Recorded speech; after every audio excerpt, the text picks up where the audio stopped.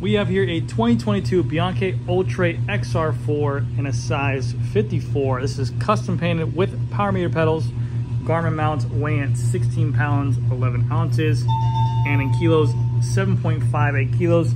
Stay tuned to after video with our free buy contest on these Zipp 303 Firecrest wheels. Hey everybody, GC Performance here back with another video and today I have for you guys this beautiful Bianchi Oltre XR4 in a rim brake model. This is a super light flagship race bike that they offered in a rim brake. In today's video, we're gonna talk about should they still be offering rim brake bikes in a top tier spec like this. As you can see, we have a bunch of modern components on here. SRAM Red AXS 12 speed, uh, Zipp 303 Firecrest and rim brake as well. Um, CeramicSpeed decked out, and this is a full aero cockpit as well with some exposed cables. And I'm not gonna lie, building this and servicing this, like I had to put another space on here, it was very, very easy and kind of uh, kind of a breath of fresh air to go ahead and just pop on that headset and go ahead and remove spacers without having to redo brake lines and everything. This is very minimal cables for a full wireless set. So in today's video, we're gonna do a full talk about that.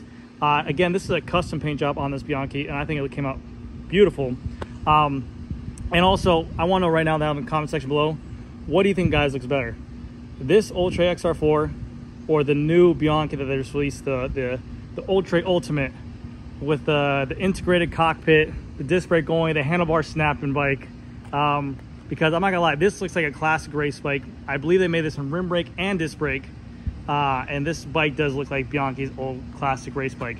They took this, which is their top tier bike that they offered, and they turned it into a crazy integrated full on race machine now. But uh, when you think of Bianchi, this is the bike that comes to mind for me. And obviously in Celeste colors, but this is what he chose to do in the different color job. So hopefully you guys enjoy the video. So over the years, we have seen a lot of bikes industries go from a rim brake model to a disc brake model. Uh, there's only a few bikes out there left or manufacturers out there left that offer a rim brake in the top tier or, any, or in any kind of spec at all.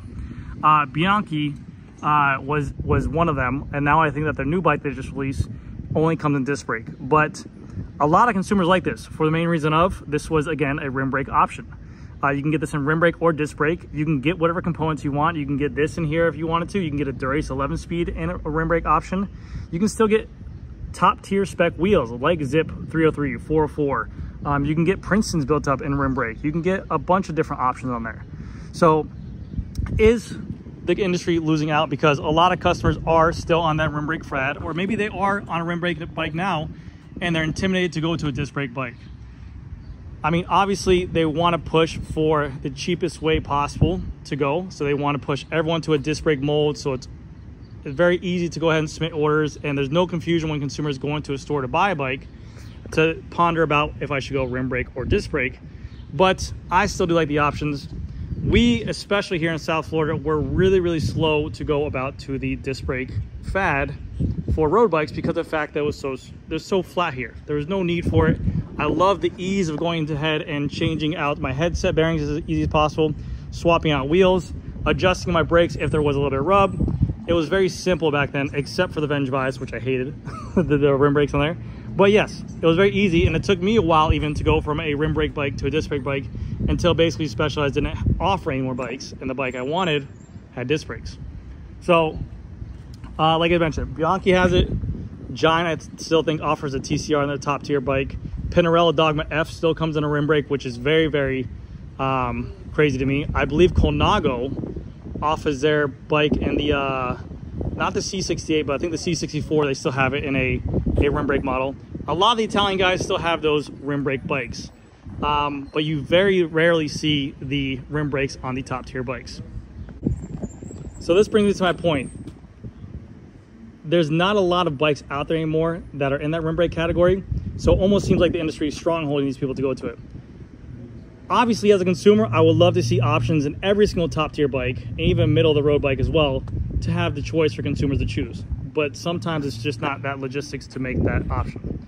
Um, but that's why we're seeing more and more boutique brands pop up, or especially even the China brands pop up, where they're still offering rim brake, which that's stealing a lot of those uh, those those consumers out there from that consumer base. So there is still a marketplace for it. I still get questions about it all day they offer a ton of components still out there for it. You're seeing more and more groups that pop up new and newer that are offering a rim brake option. I do like this paint on this Oltre XR4. I do think that the rim brake option for this bike is absolutely beautiful. And uh, it was a breath of fresh air to go ahead and work on this bike. It was very simple. Even the direct mount brakes on here are very nice. These are just SRAM direct mount brakes. And yeah, you have a little bit exposed cable in here. Here, it is okay. Now I will say this, the disc brake option was a great choice for me when I went to California and some big hills. I preferred it. I'm not used to hills. I like the safety of it. They felt good to me. Um, especially when it was raining over here. Sometimes I do like the, the disc brake model, but you see more and more pros, especially on TTs or even on uh, climbing stages, they do prefer that rim brake because they don't want the drag. They want to make sure they have um, a super lightweight bike and there is a weight difference for rim brakes as well. But uh, yeah, I definitely think that there, I definitely think, I always make it as a joke, but I think in four to five years, you will see a company come out like a Specialized, like a Trek, say limited edition, super light release of a rim brake only bike they'll have all their components on there. And I'm sure they'll sell like crazy because consumers miss it. So it's nostalgic, but this bike is definitely what the Bianchi race bikes look like. And uh, when you think of Bianchi, you think of their Oltre XR4 and it's an absolutely beautiful bike. So I'll do a quick rundown on this bike and then we'll be good to go. So he did go from the all black model. He had this painted all black. He went to a white model and then he kind of went to like this BMW M3 or kind of like this black, red, and, and, blue. The paint scheme looks really beautiful in person and uh, I am a big fan of it. So for the handlebars on here, he has the Vision one-piece bar and stem combination and the carbon fiber with these headset spaces right here in the FSA. Uh, the cables are ran underneath the bar, come down here, and then they pop out right here where they need to be. They do include with this an out front Garmin mount right here, which is pretty nice to go ahead and attach any kind of Garmin with a flashlight on there as well. The tape that he chose to go with is this Fizik, kind of like this suede or velvety feeling tape. It feels very nice to touch. Um, I'm sure once you get it sweaty, you might get a little bit slippery on there, but it is very nice. Also, another big bonus to this is that this is the rim brake hood, so it's much sleeker and looks, in my opinion, it looks much more better. I do like the look of it. And also it changes the ergonomics of the hood shape a little bit more and it makes it a little bit easier to grab. Uh, you have SRAM red shifters, 12 gears in the rear, two in the front, and it's full electronic, which is very nice. SRAM 900 brakes, direct mount front and rear with carbon fiber brake pads. And then you do have a top tier wheel like the Zipp 303 Firecrest wheel set on here uh, that are still, like I said, a beautiful wheel set to have. And also with the quick releases, because it does have that little quick release axle on there, or the quick release axle on there, it is lighter. For the tires on here, we have a Continental 5000 STRs in a 28C. This bike is still a rim brake model, so it can still take up to a wide tire on there, which is very nice. Usually you see rim brakes having a much narrower tire on there, but this can go ahead and take that up to it, which is a nice uh, ode to the bike. For the tubes, he has in there the RideNow, the TPU tubes, super lightweight tubes. They're 30 grams compared to a butyl tube, which is 100 grams. Uh, that is a great way to shed weight. I'm a big fan of those tubes myself. You have the classic down tube shape on the Oltre XR4. This bottom bracket is a press fit bottom bracket. It's a BB86. We do have CeramicSpeed bearings inside of there. And then for the crank, it is a SRAM red crank with uh, Favero Assioma power meter pedals, 50 tooth chainring, 37 on the bottom, SRAM red front derailleur with a SRAM red 12 speed chain, and going to the back, we have a SRAM red rear cassette, 1026 tooth cassette on here because it is Florida and super flat with a SRAM red 12 speed AXS rear derailleur with the CeramicSpeed OSPW, super fast, super fly. You guys want to see his bike once we get a free body on here. It's very fast. Same wheel in the rear as the front, the 303 Firecrest, which is our nice wheels, with the same riding out tubes as well, the TPU tubes, and same tire width. And we can see we have a ton of tire clearance here in the back probably fit up to a 30. Rim brakes, the area where you want to check for tire rub is usually at the bottom. Top, they usually always have clearance. And same here with the direct mount brake, we have a SRAM 900. No cable rub here on the outside of the housing. And then for their seat posts, they have their own uh, proprietary integrated wedge with their own seat post carbon fiber on there as well.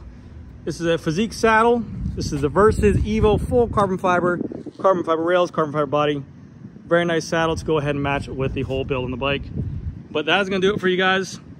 Let me know what you guys think down below. Should manufacturers still make a rim brake option in top tier to mid tier to even entry level tier bikes? You let me know down below. Thank you guys.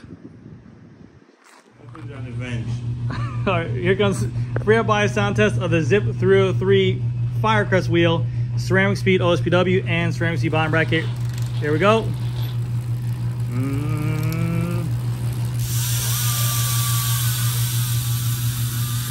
Unlimited speed, unlimited power.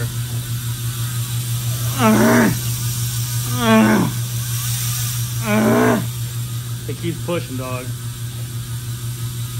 There we go. Bye.